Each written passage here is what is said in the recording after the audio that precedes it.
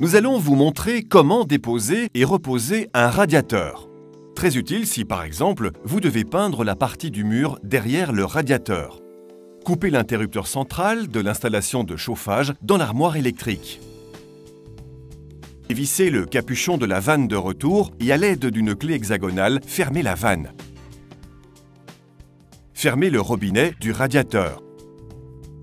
À l'aide d'un tournevis, ouvrez le purgeur monté sur la partie supérieure du radiateur. Déposez un bac en plastique de grande capacité sous le radiateur. Déconnectez les raccords du radiateur.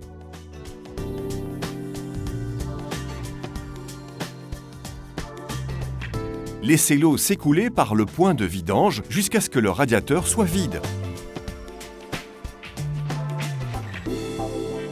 Dévissez les étriers de fixation du radiateur et déposez le radiateur.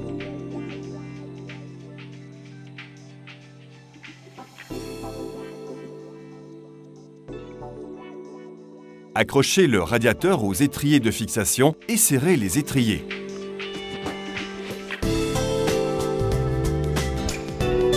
Reconnectez le radiateur et revissez les raccords.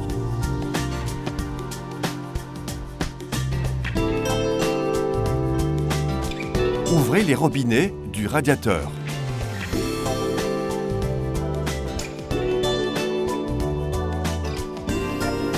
Refermez le purgeur. Rendez-vous au local où se trouve l'installation de chauffage et remettez le système sous pression. Pour ce faire, ouvrez les deux robinets d'alimentation jusqu'à ce que la pression soit comprise entre 1 et 2 bars.